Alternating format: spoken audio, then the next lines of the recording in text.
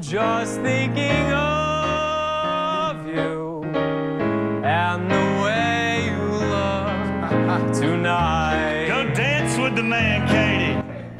That's Wesley Chapel's very own Zach D'Onofrio on the debut of American Idol last night. The Wiregrass Ranch High School senior is moving on to Hollywood. He got a yes from all three judges, Luke Bryan, Katy Perry, and Lionel Richie. And speaking of Lionel Richie, he even tweeted to Zach during last night's Idol premiere. He said that these kids are so inspiring. I'm having the best time. Thanks for the socks, Zach. I guess he has lucky socks that he, He has. does. He gave the judges and host Ryan Seacrest those socks. We also learned about his sock obsession when he visited us here at ABC Action News, and uh, you got a chance to talk to Zach. I did. He has those lucky socks. Uh, the audition day, he wore ones with four-leaf clovers, and clearly they worked. They worked. Good luck to Zach. We're so excited to follow his journey. I think it helps to have a golden voice. Well, though. that too. Yeah, the socks helped, but that you never voice. know. Wow.